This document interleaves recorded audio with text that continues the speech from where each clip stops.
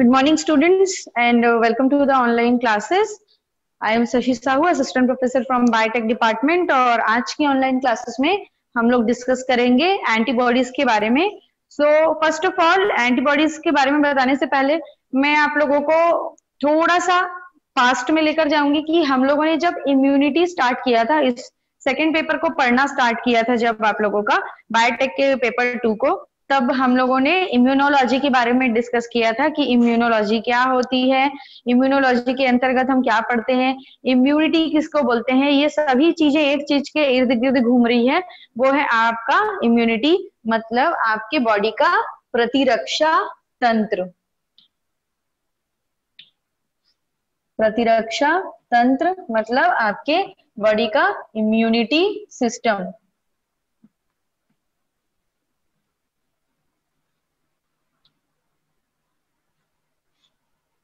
ठीक है? सभी चीज़ें इसी के इर्द गिर्द घूम रही है। सभी चीज़ें इसी से रिलेटेड हैं कि आपकी बॉडी की इम्यून सिस्टम के बारे में हम पढ़ रहे हैं। इम्यून सिस्टम क्या होता है? इम्यून सिस्टम के अंतर्गत कौन कौन से सेल काम करते हैं? इम्यून सिस्टम का एक्चुअल मतलब क्या होता है? इम्यूनिटी किसको बोलते हैं? एंटीबॉडी किसको बोलते हैं? एंटीजन किसको बोलते हैं? हम इन सभी चीज़ों के बारे में ही डिस्कस किए हैं। और इसमें सबसे बड़ी चीज़ जो है इम्यूनिटी का जो सबसे बड़ा हथियार रहता है मतलब रोगों से लड़ने की क्षमता को हम बोलते हैं प्रतिरक्षा तंत्र या इम्यूनिटी सिस्टम हमारी बॉडी का। ठीक है? तो एंटीबॉडी जो है एंटीबॉडी बॉडी क्या है? जो प्रतिरक्षा तंत्र मतलब रोगों से लड़ने की क्षमता, अगर कोई रोग के अणु अगर बॉडी में आ भी गए हैं एंटर कर लिए हैं, कोई फॉरेन पार्टिकल या डिज़ीज़ जो लाने वाले सब्सटेंस है, वो अगर एंटर कर गए हैं तो उनसे लड़ने का काम कौन करेगा? एंटीबॉडी ये हमारा सबसे बड़ा बड़ा वेपन है। वेपन मतलब हथियार। ठीक है? सबसे बड़ा हथियार जिसकी वजह से हम हमारी बॉडी को सुरक्षित रख पाते हैं, क्योंकि हमारी बॉडी में ऐसी एबिलिटी ऐसी सक्षमता होती है कि वो क्या कर सकती है? वो एंटीबॉडी प्रोड्यूस कर सकती है। ठीक है? कुछ सेल्स है हमारी बॉडी के जो एंटीबॉडी प्रोड्यूस करने की क्षमता रखते हैं, जिसकी वजह से हमारी बॉडी सुरक्षित रहती है अगर कोई फॉरेन पार्टिकल एंटर कर जाता है तो। ठीक है? लेकिन कुछ बीमारियाँ ऐसे रहती हैं या कुछ एंटीजेंस ऐसे रहते हैं जो हमारी बॉडी के एंटीबॉडी से ठीक नहीं हो सकते, जिसके लिए हमको ट्रीटमेंट कराना पड़ता है, हमको दवाई देता है डॉक्टर जैसे कि कोविड वायरस की एंटीबॉडी हमारे इम्यूनिटी डेवलप नहीं हो पा रही हमारे अंदर। इसी वजह से तो उसका ट्रीटमेंट नहीं कर पा रहे हैं ना लोग इतना क्यों फैल रहा है? क्योंकि हमारी बॉडी इम्यूनिटी डेवलप नहीं कर पा रही है, इसलिए तो हमको इलाज कराना पड़ता है उसके लिए। और उसकी वैक्सीन भी नहीं है, इसलिए और प्रॉब्लम हो रही है। ठीक है? तो आज का जो टॉपिक है हमारा, पूरा डिटेल रहेगा हमारा एंटीबॉडी के ऊपर। ठीक है? तो लेट्स गेट स्टार्टेड एंटीबॉडी जिसको हम लोग एक और नाम से जानते हैं, क्या बोलते हैं उसे? इम्यूनोग्लोब्यूलिन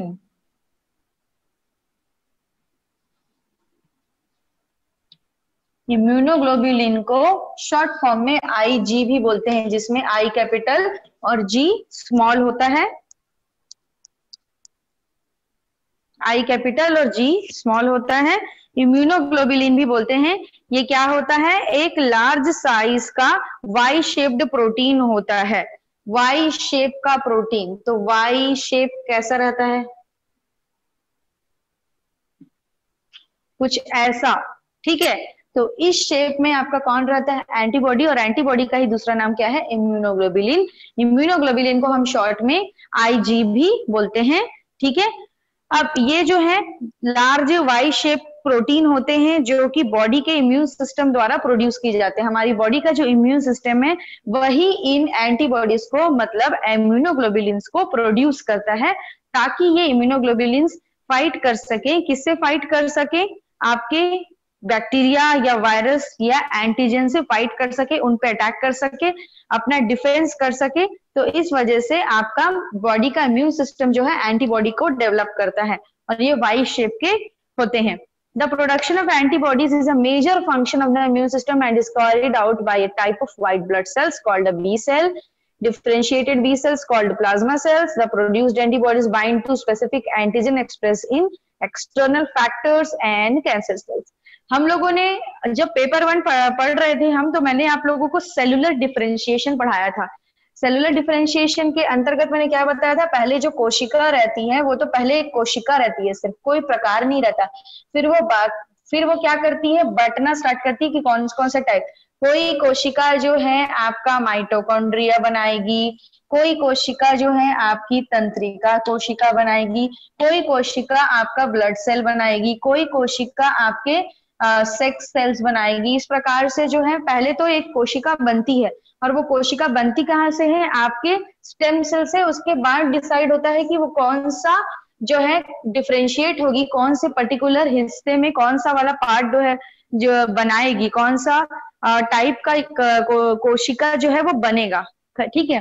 तो इसी से ही कुछ रिलेट कर रही हूँ मैं इसको। सबसे पहले तो ये ज़रूरी चीज़ है कि एंटीबॉडी बनाता कौन है? तो एंटीबॉडी बनाते हैं हमारे व्हाइट ब्लड सेल्स श्वेत रक्त कर्णिका जिसे बोलते हैं हम लोग हिंदी में व्हाइट ब्लड सेल्स जो हैं, हमारे एंटीबॉडीज को बनाते हैं। अब आप बोलोगे, मैडम, हम लोग तो इतना सारा पढ़ लिया, आप तो व्हाइट ब्लड सेल कभी नहीं बताए। तो एक चीज़ बता दूँ कि व्हाइट ब्लड सेल कौन कौन से सेल होते हैं? बी सेल जो आपके व्हाइट ब्लड सेल और एक सेल होता है, आपका टी सेल जो व्हाइट ब्लड सेल्स की कैटेगरी में आते हैं, ठीक है? ये बी सेल और टी सेल ही मिलकर क्या बनाते हैं? आपका एंटीबॉडी जो मेनली इसमें काम रहता है, वो रहता है बी सेल का। अगर बी सेल की बात की जाए तो बी सेल जो होता है, वो क्या होता है, सबसे पहले तो बी सेल के कांटेक्ट में एक एंटीजन आता है, जो अभी तक के मैं पढ़ाई हूँ। क्या होता है कि आपकी बॉडी में जैसे ही कोई एंटीजन अगर एंटर करता है, आपका बॉडी एंटर कर लिया, ये आपका बी सेल है। ठीक है बी सेल के साथ वो क्या किया मेल मिलाप किया कम्युनिकेट किया ठीक है इंटरेक्शन हुआ। अब बी सेल उसके बाद आगे का काम करता है। बी सेल क्या करता है? बी सेल डिफ्रेंशिएट हो जाता है, बदल जाता है, अपना प्रकार बदल लेता है। किसमें बदल जाएगा? बी सेल डिफ्रेंशिएट होके प्लाज्मा सेल बना लेते हैं। तो बी सेल क्या बन गया? प्लाज्मा सेल ठीक है बी सेल क्या बन गया? प्लाज्मा सेल किस प्रकार बना? डिफ्रेंशिएट हुआ। बी सेल डिफ्रेंशिएट होकर प्लाज्मा सेल में बदल गया। अब ये जो प्लाज्मा सेल है, यही क्या करेंगे? एंटीबॉडीज को बनाना स्टार्ट करेंगे, जो कि क्या करेंगे? लड़ेंगे। किससे लड़ेंगे? आपके उस एंटीजन से जो आया है। तो ये आगे जाके क्या बनाना स्टार्ट कर देंगे? आपका एंटीबॉडीज तो पहले तो बी सेल क्या होते हैं? डिफ्रेंशिएट होते हैं प्लाज्मा सेल में। फिर उसके बाद जो आपका प्लाज्मा सेल है, क्या बनाता है? आपके एंटीबॉडीज को बनाता है। तो इस प्रकार से आपका एंटीबॉडी बनने का प्रोसीजर जो है वो होता है। तो इसी, इस चीज़ को याद रखेंगे बी सेल जो है डिफ्रेंशिएट होके प्लाज्मा सेल बनेगा। और प्लाज्मा सेल क्या बनाएँगे?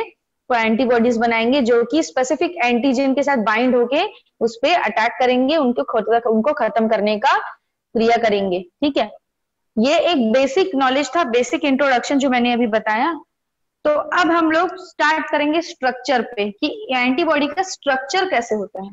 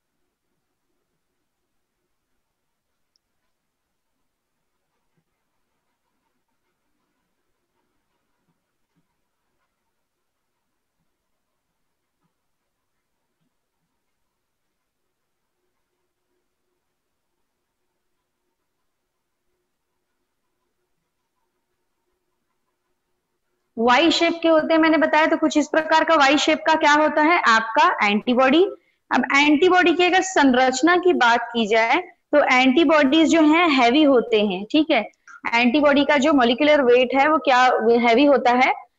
150 किलो डाल्टन ठीक है? 150 किलो डाल्टन के लगभग आपका क्या होता है? इसका मोलिकुलर मास होता है एंटीबॉडीज का हैवी होते हैं थोड़े से ये। और जो बेसिक स्ट्रक्चर है एंटीबॉडीज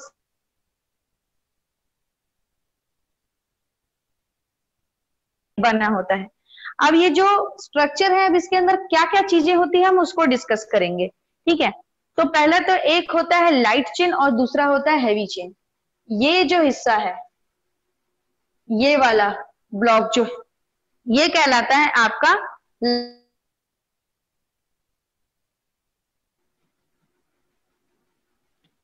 कोशिश कीजिए कि आप लोग भी डायग्राम बना के रखें इसको ताकि आप भी समझें आगे जाके, ठीक है?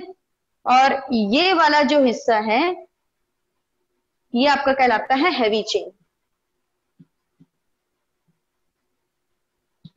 तो नीचे वाला ब्लॉक लाइट चेन ऊपर वाला ब्लॉक हैवी चेन इसमें भी सेम होगा हैवी चेन लाइट चेन ठीक है? अब, इसके बाद जो है, ये हिस्सा है जहाँ पर ब्लॉक्स बने हुए हैं, ये वाला हिस्सा. ये देखिए, ये वाला जो हिस्सा है, ये होते हैं आपके वेरिएबल रीजन ये वेरिएबल रीजन ही वो रीजन होता है जहाँ पर आके आपका एंटीजन जो है बाइंड होता है। ठीक है, इसी वाले रीजन में आके एंटीजन जो है बाइंड होता है, उसके बाद एंटीबॉडी उसके उसे उस पर अटैक करने की, खत्म करने की कोशिश करता है। तो नीचे का हिस्सा, नीचे वाला ब्लॉक लाइट चेन ऊपर वाला ब्लॉक ये वाला से ब्लॉक बस है जो हैवी चेन और जो ये ब्लॉक्स अलग से बने हुए ये जो रीजन है, ये ऊपर का जो हिस्सा है, उस हिस्से को क्या बोलते हैं वेरिएबल रीजन बोलते हैं, ठीक है? अब वेरिएबल रीजन ही वो रीजन होता है जहाँ पर आके आपके एंटीजन जो है, जो आपके फॉरेन पार्टिकल हैं, वो आके इसमें बाइंड होते हैं, आपके वेरिएबल रीजन में, ठीक है? उसके बाद जो नीचे का हिस्सा है आपका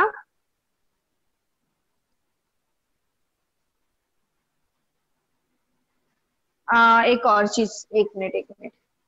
हैवी चेन मैंने बताया ना हैवी चेन जो है, ये ऊपर ये वाला ब्लॉक के साथ साथ ये वाला ब्लॉक भी आपका हैवी चेन की कैटेगरी में आता है और ये वाला हिस्सा आपका लाइट चेन और ये हिस्सा वाला लाइट चेन तो इसी प्रकार से हैवी चेन ये वाला भी हिस्सा होगा पूरा।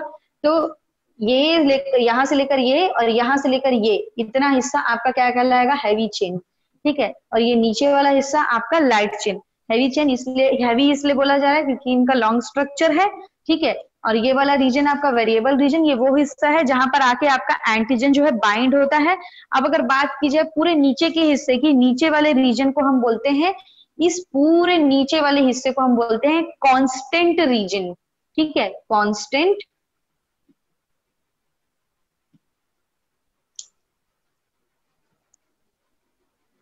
कांस्टेंट रीजन ठीक है? ये एक जनरल स्ट्रक्चर मैंने बताया है एंटीबॉडी का, जिसमें आपका क्या क्या होता है? लाइट चेन होता है, आपका हैवी चेन होता है, और आपका वेरिएबल रीजन होता है, और एक कांस्टेंट रीजन होता है। ठीक है? अब हम आगे देखते हैं इसको। There are four polypeptide chains two identical heavy chain and two identical light chain चार पॉलीपेप्टाइड चेन होते हैं, जिसमें से दो लाइट चेन और दो हैवी चेन कहलाते हैं। जैसे कि दो लाइट चेन यहाँ पर ये दो लाइट दो लाइट चेन और ये हिस्सा ये हिस्सा, दो हैवी चेन ठीक है, ये क्या होते हैं? चार पॉलीपेप्टाइड चेन होते हैं ये। फोर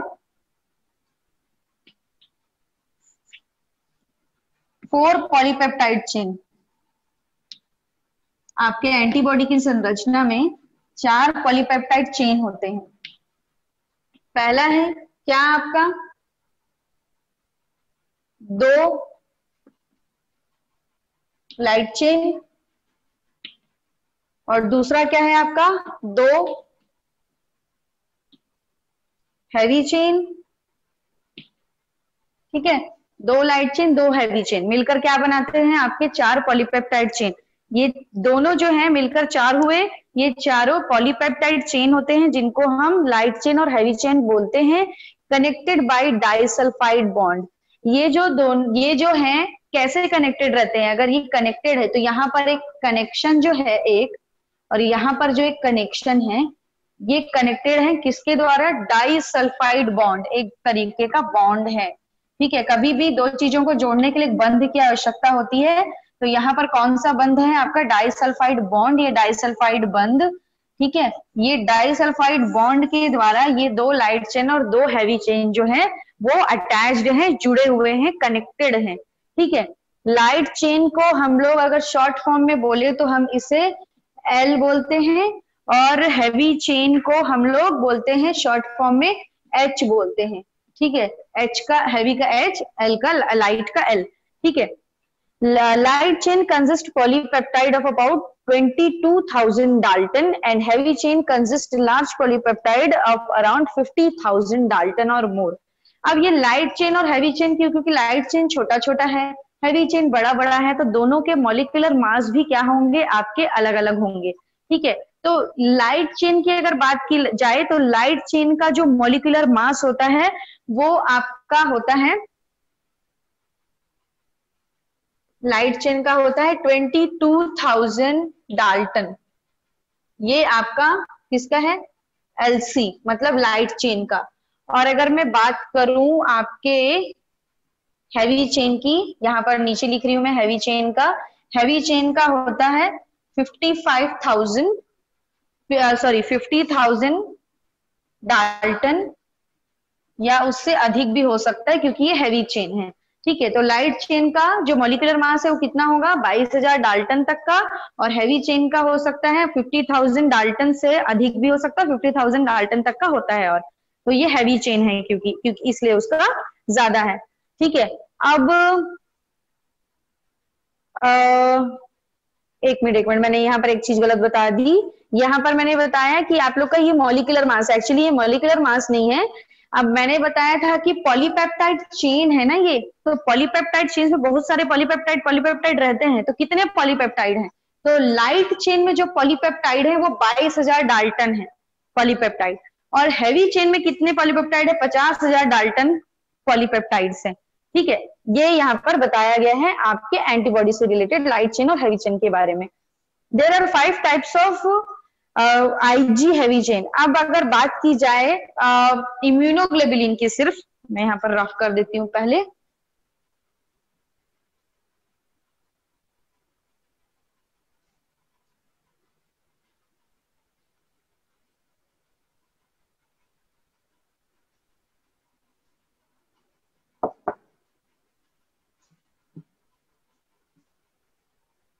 अगर बात की जाए एंटीबॉडीज के बारे में ही बात करें, हमने लाइट चेन और हैवी चेन देखा। लाइट चेन ये वाला ब्लॉक और हैवी चेन ये वाला ब्लॉक हैवी चेन ये रीजन आपका वेरिएबल रीजन ये वाला रीजन आपका कांस्टेंट रीजन ठीक है?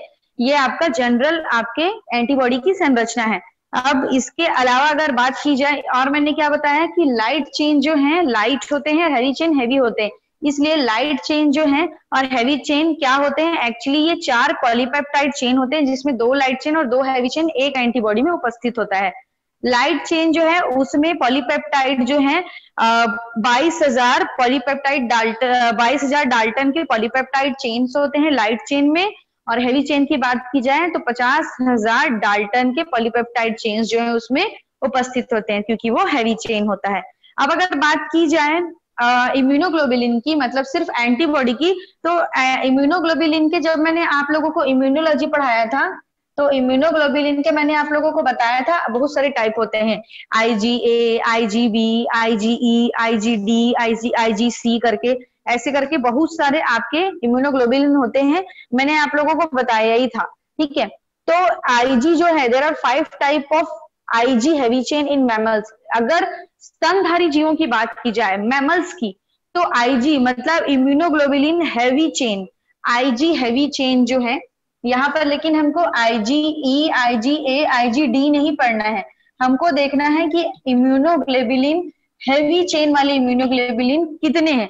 तो पाँच प्रकार के आपके इम्यूनोग्लोबिलिन हैवी चेन होते हैं। कितने प्रकार के? पाँच टाइप्स के। अभी हम कोर एंटीबॉडी का टाइप नहीं देख रहे हैं। अभी हम हैवी चेन का टाइप देख रहे हैं। हैवी चेन कितने प्रकार के हैं? एंटीबॉडी के हैवी चेन पाँच प्रकार के होते हैं।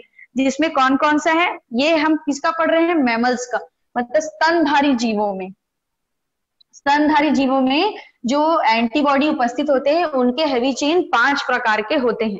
ठीक है? कौन कौन से हैं? आपके ग्रीक लेटर से इनको बताया गया है। अल्फ़ा सिग्मा ईटा और म्यू।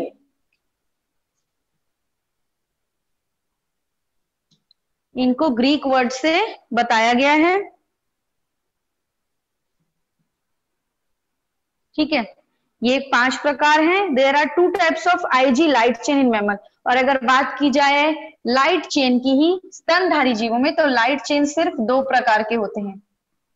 ठीक है light chain two types IG light chain क्योंकि इम्यूनोग्लोबिन एंटीबॉडी का लाइट चेन है ना? तो दो प्रकार के होते हैं मैमल्स में, जो कि होते हैं लैमडा और कप्पा लैमडा और कप्पा के फॉर केमिस्ट्री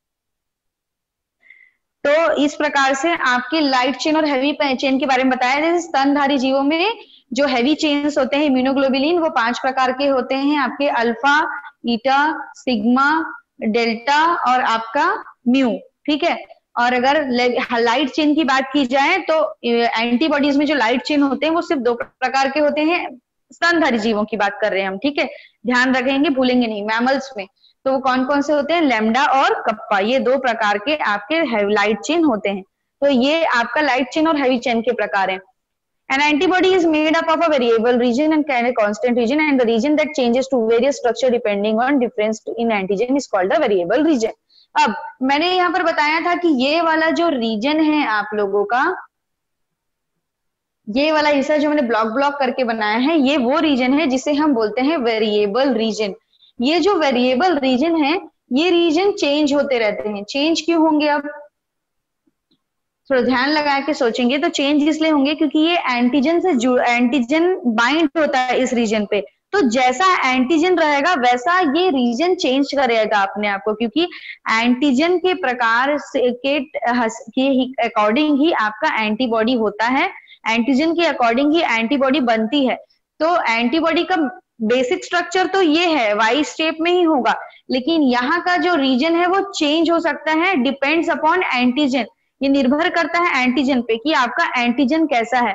एंटीजन अगर मान लीजिए कुछ अगर इस प्रकार का है तो ये यहाँ पर आके अटैच हो जाएगा। लेकिन अगर एंटीजन आपका इस प्रकार का है सिर्फ़ तो ये यहाँ पर चेंज कर लेगा, कुछ ऐसे हो जाएगा। ताकि ये वाला हिस्सा यहाँ जुड़ जाए। तो रीजन जो है, ये वेरिएबल रीजन जो है, वो चेंज होता रहता है कि वो डिपेंड करता है एंटीजन के ऊपर कि आपका एंटीजन कैसा है। और जो कांस्टेंट स्ट्रक्चर कहलाता है कांस्टेंट रीजन जो इस हिस्से को बोलते हैं, वो कांस्टेंट रीजन बोलने का रीजन ये है, क्योंकि ये कांस्टेंट ही रहता है। ये वाला हिस्सा जो है वो चेंज नहीं होता है। ठीक है?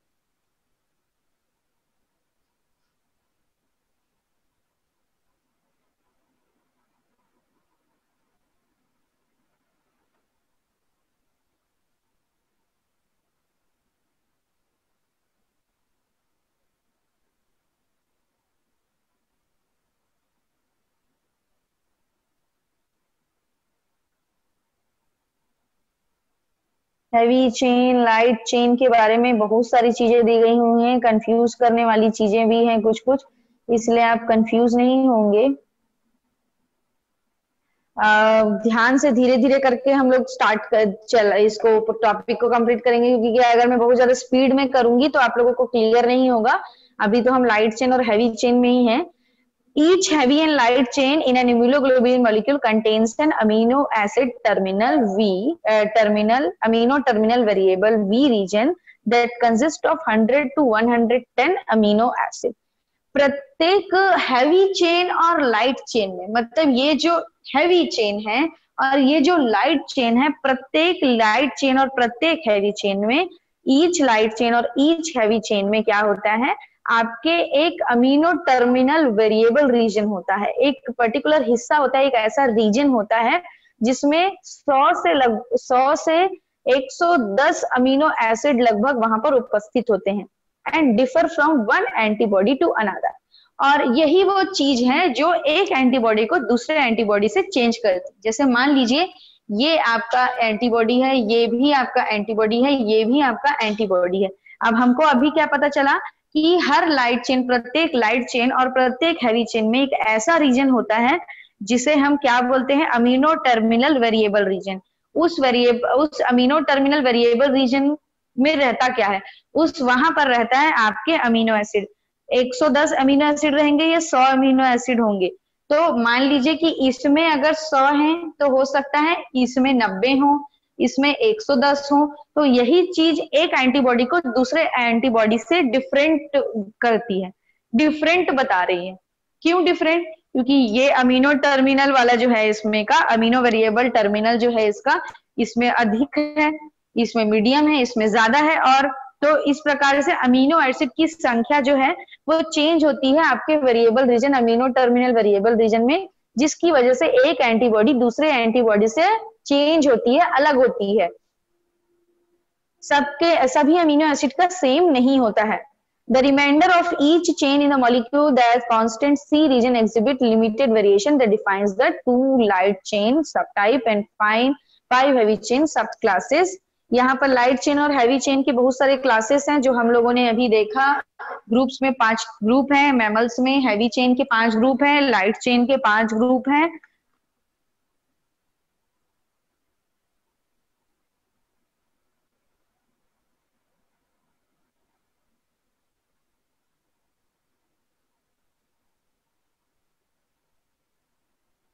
मैंने अभी सिर्फ़ आप लोगों को एक बेसिक स्ट्रक्चर बताया है। इसमें और बहुत सारी चीज़ें हैं जो ऐड होंगी। लेकिन उसको मैं बाद में बताऊँगी क्योंकि ये पहले इतना समझेंगे आप, ठीक है? तभी हम दूसरे में जाएँगे। अगर मैंने एक साथ सब चीज़ें बता दी तो आप कंफ्यूज हो जाएँगे। इसलिए मैं बहुत सारी चीज़ें नहीं बता रही हूँ, क्योंकि एंटीबॉडी थोड़ा सा कंफ्यूजिंग टॉपिक है, इसलिए सबसे ज़्यादा इंपॉर्टेंट तो इसमें हैवी चेन और लाइट चेन ही होता है, क्योंकि हैवी चेन लाइट चेन के आधार पर ही आपके एंटीबॉडी का स्ट्रक्चर डिसाइड होता है। हैवी चेन और लाइट चेन जो है, वो अलग अलग होते हैं। मैमल्स में अलग है तो हो सकता है एम्फीबियंस के बॉडी में अलग होंगे, जानवरों या फिर माइक्रोब्स की बॉडी के जो एंटीबॉडीज हैं, वो अलग होंगे। हमने तो सिर्फ़ स्तनधारी जीवों के बारे में बात की है कि उनमें जो हैवी चेन होता है, वो पाँच प्रकार के होते हैं और जो लाइट चेन होता है, वो क्या होते हैं? दो प्रकार के होते हैं। हमने सिर्फ़ अभी इतना ही डिसाइड अब डिस्कस किया है। अब देखा जाए तो इससे कम भी हो सकते हैं किसी किसी में किसी में ज़्यादा हो सकते हैं। जो सबसे इंपॉर्टेंट में चीज़ रहती है लाइट चेन और हैवी चेन के बाद वो होता है डाई सल्फाइड बॉन्ड जिसके बारे में मैं नेक्स्ट बताऊँगी।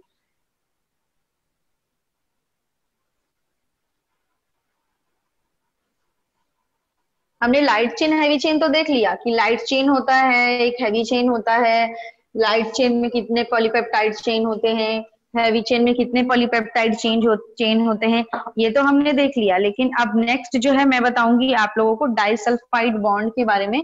डाइसल्फाइड बॉन्ड जो है, वो वो बॉन्ड है जिसके द्वारा ही आपका लाइट चेन और हैवी चेन जो है, वो जुड़े हुए हैं। ठीक है? डाइसल्फाइड बंद या फिर डाइसल्फाइड बॉन्ड के द्वारा। ठीक है?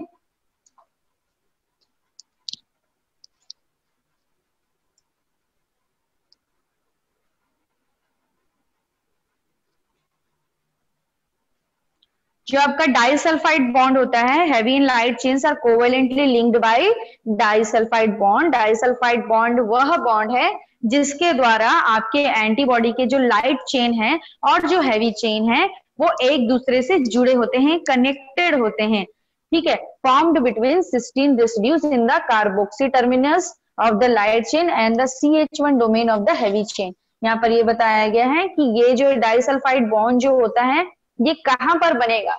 एक्चुअली में जो आपका इस प्रकार से संरचना बनी थी ना,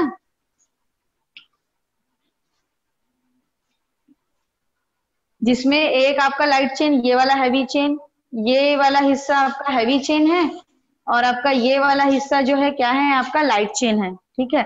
तो लाइट चेन और हैवी चेन को जोड़ के रखने का काम कौन कर, करता है? आपका डाइसल्फाइड बॉन्ड लेकिन डाइसल्फाइड बॉन्ड भी तो बना होगा ना किसी तरीके से वहाँ पर, जो उन लोगों को जोड़ के रखा होगा। ये जो जुड़े हुए हैं आपस में, वो किससे जुड़े हुए हैं? डाइसल्फाइड बॉन्ड से जुड़े हुए हैं ना तो डाइसल्फाइड बॉन्ड भी तो कुछ रीजन से बना होगा।